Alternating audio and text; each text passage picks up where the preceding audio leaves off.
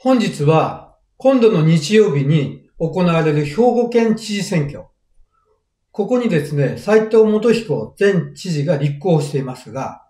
その斉藤前知事をいわば悲劇のヒーロー扱いにして本当に良いのだろうかという話であります。まあ、斉藤さん、その選挙で当選する可能性が高まってきています。というのはですね、まあ、最近立花隆候補者らをはじめとして、指揮者らが、もっぱら斎藤さんが悪いというかつての報道は全く間違っているとの見解を述べているんですよね。例えば、もともと元県民局長が斎藤前知事体制を転覆させるべく斎藤さんを陥れるために、いかにも斎藤前知事にパワハラ、おねだりがあった、などという嘘を言って、マスコミに通報したと。で、マスコミがその嘘に乗り、事実でないことを拡散し、斎藤前知事悪しと煽ったと。また、元局長が使用していた公用パソコンに私的なこと、あるいは自らの不倫など倫理上問題のある内容を元局長が書き込んでいたと。そのために、それらが発覚することを恐れた元元局長が自死したものであって、何も斎藤さんが元局長を死に追いやったものではないという情報が流れてきています。まあ、要はですね、斎藤さん全く悪くはないという話がここに来て広まっているんですよね。しかしですね、法治国家である以上、あくまで公益通報者保護法の規定に照らして、斉藤さんは本当に悪くなかったのか、悲劇のヒーローのごとく言うことで問題がないのか、そうした法律解釈の観点から分析をしてみたいと思います。私がこれから述べることには異論を述べる人がいるのは元より承知しています。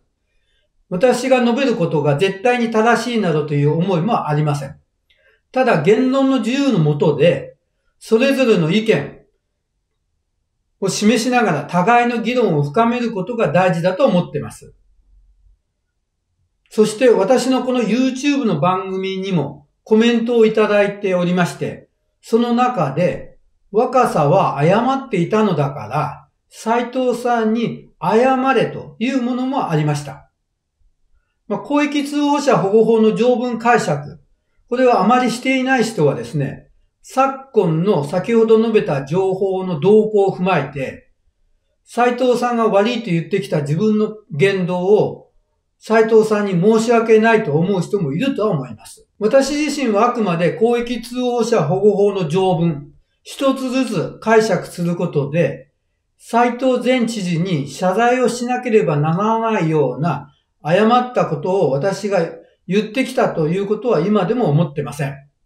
さて皆さん、そもそもですね、公益通報制度っていうのは、これからの日本においては極めて大事な道具、ツールであります。日本社会のこれまでの数々の闇、相当ありましたけれど、昨今はその闇を少しずつ暴き出すためのものとして、この公益通報制度が活用されています。東京地検特捜部でも私が仕事をする際に、この内部通報から大きな事件に発展したことがありました。公益通報者保護法という目的を簡潔に申し上げますと、公益通報によってですね、国民の生命、身体、財産、その他の利益の保護を図って、国民生活の安定及び社会経済の健全な発展に死することをその目的としていると。そういう目的があるので、公益通報者の保護を強めるというのがこの法律の目的としてあります。名前の通りですね、公益通報者保護法であって、公益通報保護法でないことから、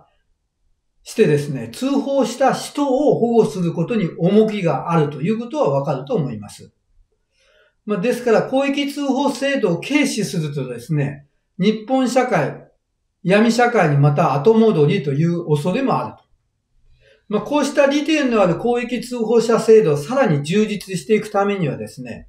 今回の元局長の通報が公益通報者保護法の適用になるケースなのか、そうでないのかっていうのを冷静に分析する必要があると思います。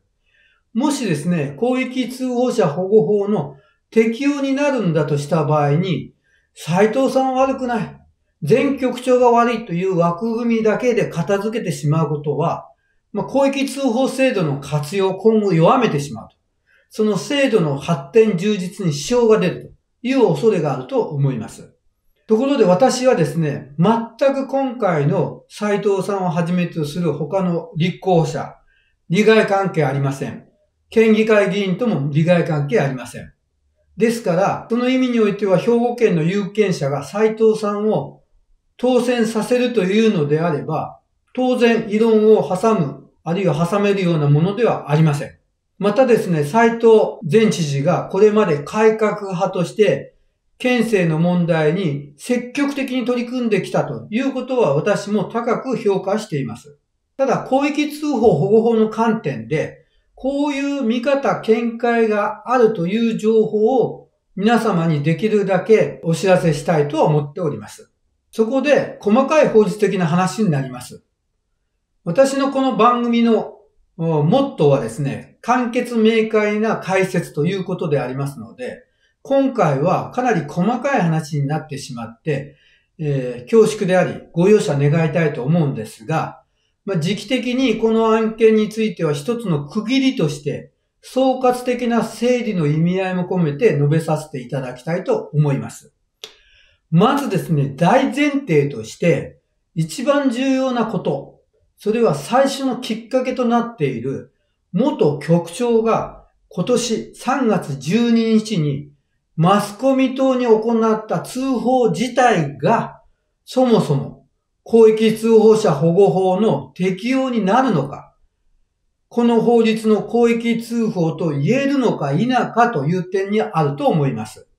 3月12日の通報を受けてですね、ほどなく片山前副知事による元局長らに対する聞き取りが開始されています。しかもそれは追及中で聞き取りが行われています。もしですね、3月12日の通報自体が公益通報者保護法の適用になる通報だとすれば、この片山副知事の追及長の当時の聞き取り自体問題にされかねないと思います。で、現実に片山前副知事もですね、その後、確かに私も聴取の際には肩肩に力が入ってしまっており、また相手がもっと部下であることから、口調や態度が厳しくなってしまったことは反省しているというふうに答弁しています。そこで、この3月12日の元局長のマスコミ通報、この法の適用を受ける追放かどうか、論点ごとに分析します。まずですね、法律の規定では、マスコミ等への通報であろうと、正規の組織内の通報窓口への通報であろうと、それらに関わらず、およそ法律で保護される通報と言えるためには、大前提として通報が不正の目的でないという要件が必要です。不正目的で通報していれば、およそ法の保護は受けられません。そこで元局長が斎藤知事による自分の人事処遇に恨みを抱いて、斎藤憎きのあまり、今回の通報をマスコミにしているとした場合、それは確かにですね、表面的には、まさしく、この不正目的に当たるようには見えます。ただですね、実務上の取り扱いとしては、非通報者、まあ、今回の場合、斎藤知事になるんですが、その斎藤さんに対する不満や怨恨があると認められる場合でもですね、不正目的での通報と、直ちに認定できないとされています。およそこういう通報をする際には、複数の動機が併存していることがあると。確かにその事業者に対する反感があったとしても、他方ですね、きちんと正しく正し、正しいことに導きたい。不正を正したい。そうした公益目的があればですね、最終的に不正目的かどうかの判断は裁判所の判断に委ねられるから、まあ、事業者としては簡単に、はい、これは不正目的ですと片付けてはいけないというような運用がされていると思います。まあ、今回の木と局長もですね、まあ、その意味においては仮に斎藤知事に恨みがあって、えー、それが今回の通報の動機になっているとしても、その気持ち以外にですね、兵庫県政やはり良くしようという公益の気持ちがあれば、不正目的での通報とは断じきれないと思います。その意味では片山前副知事がですね、最初の聞き取りの段階で不正目的だと決めつけられるものでは決してないんですが、片山副知事はですね、このように言ってるんですよね。3月の文書は外部通報になると。外部通報として法的な保護を受けるには、不正な目的でないことが必要だと。しかしこの文章は不正な目的であることから、法的な保護の対象とならない。というようなことを答えています。あるいは片山副知事、このようにも説明しています。この文書の作成配布が斎藤政権の転覆という不正目的のために行われたことは、私が最初の聴取の時点で把握していました。このようにも述べていた、いるんですよね。でも元局長が不正目的で通報していると把握していた。から、もうそもそも公益通報者保護法の保護を受けるものではないというようなことを片山前副知事が言うのだとすればですね、それは先ほど述べたような不正目的の実務上の運用について、やはり理解がやや欠けているという見方ができると思います。まあ、結論的にはですね、3月12日の元局長のマスコミ通報。これが不正目的とは決めつけることができない。まあ、ひいては公益通報者保護法の適用があり得るということは、まずは言えると思います。まあ、にもかかわらず、斉藤前知事がですね、この片山前副知事の聞き取り報告を受けて、3月27日、早々にですね、この3月12日の通報文書、事実無根、嘘800と、まあ、公の会見で述べてるんですよね。これは場合によっては公益通報者保護法の適用を受ける可能性が、えー、あったわけですから、そこに思いが至らずに、このように公の席で言ってしまうということは、行き過ぎだったようには思います。次にですね、今回のこの3月12日のマスコミへの通報、まあ、どのような時に公益通報者保護法の保護を受けるのか、その具体的要件は何か、について少しお話したいと思います。まず一つ目としてはですね、通報対象事実が生じ、またはまさに生じようとしていると信じずに足りる相当な理由がある場合、この要件が必要です。ちなみにですね、この通報対象事実というのは、うん、せっかくですので少し説明すると、犯罪ないしそれに類似するような不正事実のことを言います。ですから単なるパワハラで犯罪としての暴行、脅迫などの対応に至っていないものはですね、この通報対象事実にはそもそも該当しません。ただ話を戻しますが、まあ、要件として必要なのは、通報対象事実が生じ、またまさに生じようとしていると信じずに足りる相当な理由が必要と、いうことですが、これはですね、いわゆる真実相当性が必要と言われているところだと思います。まあ、マスコミ等に通報する場合はですね、単に通報者が不正があると思いましたっていうだけでは足りないと。そう思った相当な根拠と理由が求められるということであります。元局長ですね、その職務上、身分上、県職員からの情報がいろいろと入る立場であったと思われます。その意味ではですね、内部の職員の話ですから、その話が、あ例えばあ、それなりに、えー、納得がいくものだとすれば、元局長がまさしくそうした通報対象事実があまさに生じてるとか、あるいは生じようとしているというのを根拠を持って、そう思って通報したということは、一応説明としてはあり得ると、あり得ると思います。まあ一般的にはですね、団体の職員内部から受けた話というのは、えー、街中の飲み屋で飲んでいた時に聞いた話というよりは、はるかに信用性があると言われていると思います。そしてですね、次にマスコミ等への通報、どのような時に法の保護を受けられるかというと、まあ、二つ目の要件としてはですね、マスコミ等に通報することが、その不正事実などの発生とか、または不正事実による被害の拡大を防止するために必要であると認められる場合に、マスコミ等への通報が法律の保護を受けるということになります。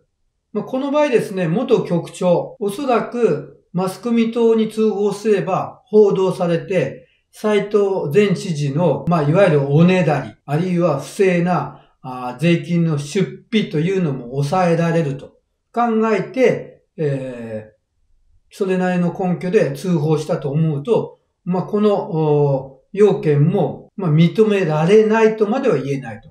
まあ、肯定される、クリアされるとは思います。まあ、ここでですね、おねだりの話があったんで若干復縁いたしますと、少なくとも理屈上はですね、斎藤さんが知事の職務を遂行する際に業者などに品物をおねだりすれば、その物品の価格とか、その物品の性質によっては、たとえ物を受け取っていなくても、おねだりしたり、いわば要求しただけでも刑法の収賄罪の申し込み罪というものに当たる余地はあります。まあ、結局ですね、3月12日のマスコミへの通報時に、まあ、そうした通報対象事実が生じていると信じるに足りる相当な理由があったりとか、しかもマスコミ等に通報することで、そうした通報対象事実の発生や被害の拡大を防止できるというふうな認められる状況は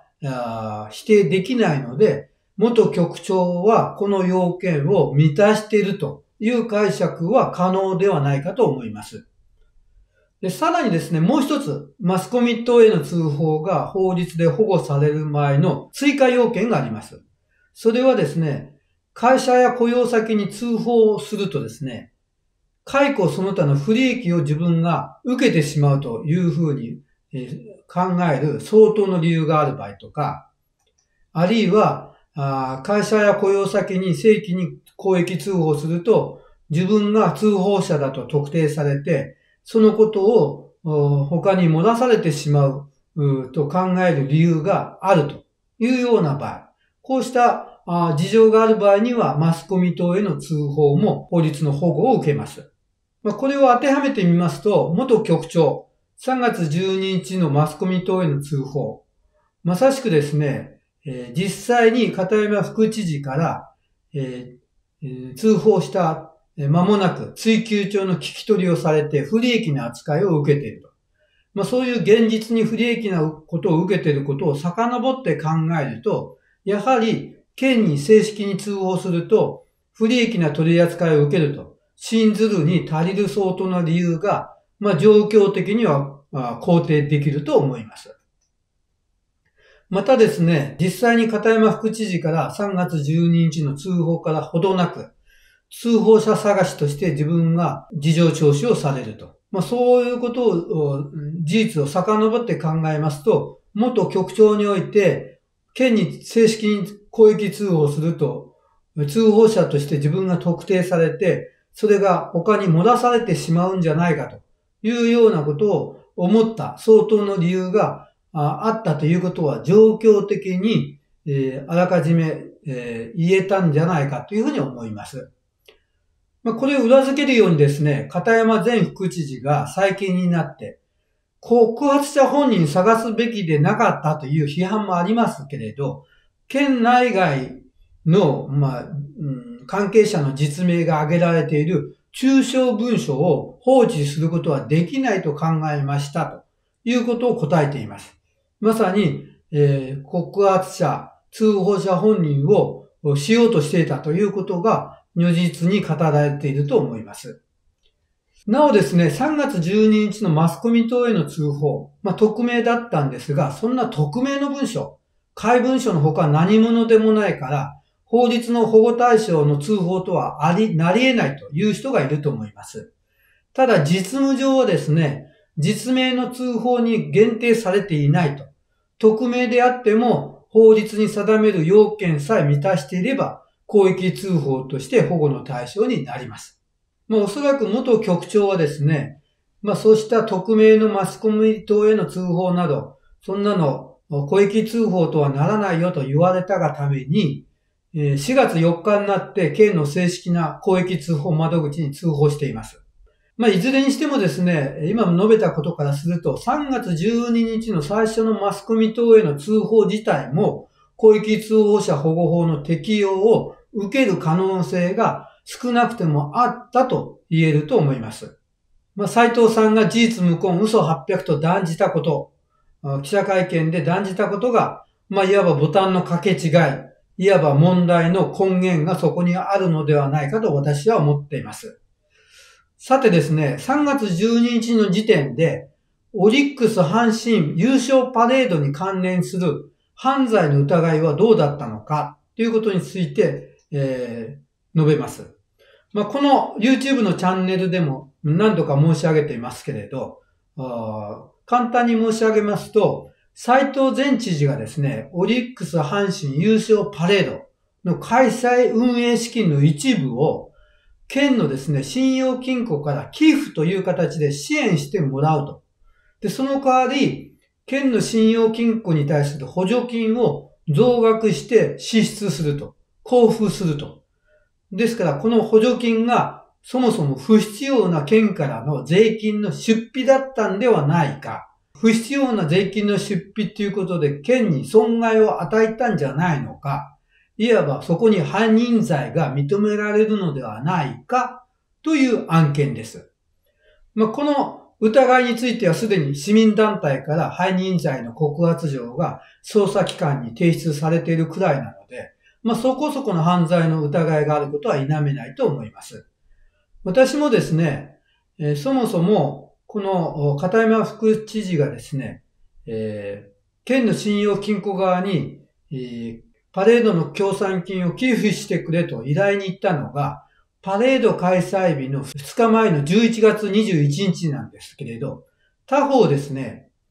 えー、県の信用金庫に対する補助金がそれまで1億円だったものが、片山副知事と斉藤前知事の指示によって急遽ですね、4億円に増額されたと。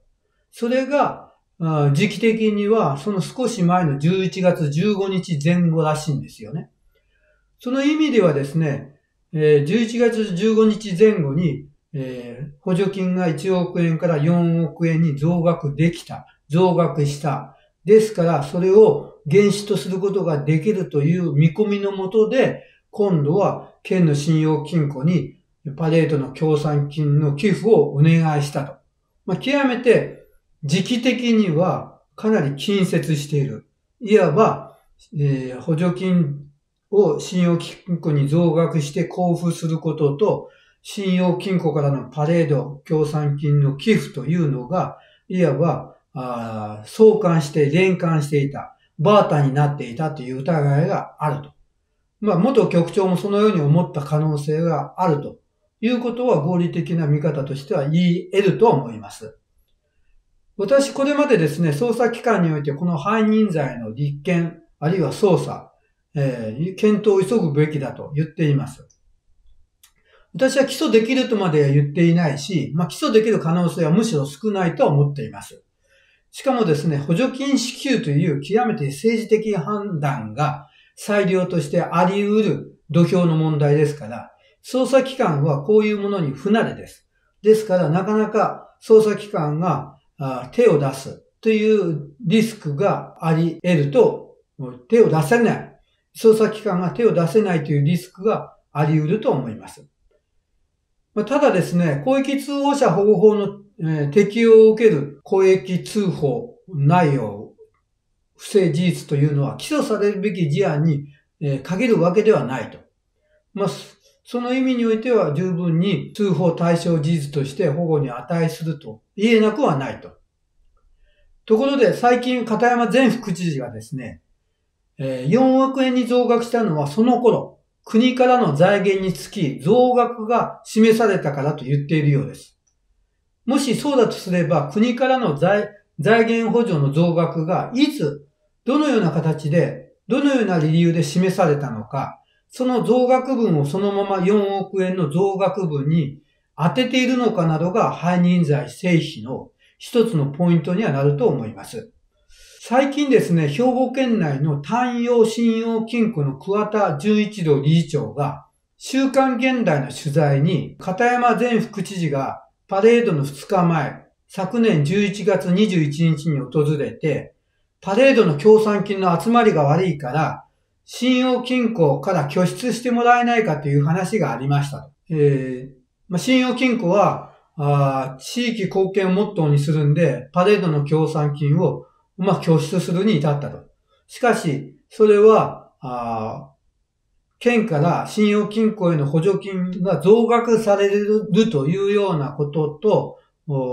バーター、見返りでパレードの協賛金を出したわけではないというようなことを取材で述べています。まあ、この桑田理事長の認識としては、それで、それ、それはそれで良くて、まあ、その認識がある方といって、斎藤前知事とか片山前副知事の背任罪の成否には、直接何ら影響を与えません。あくまで県の中で、えー、斉藤前知事らが内々に外部には一切情報を出さずに、えー、県の補助金の増額交付と協賛金のお願いというのを構図としてバーターにしようというふうに思って、不必要な税金を交付金という補助金という形で払ったということであれば、そうしたバーター、相関の話を信用金庫側に伝えようが伝えまいが、斎藤前知事らの背任罪の成立そのものには影響を与えないからです。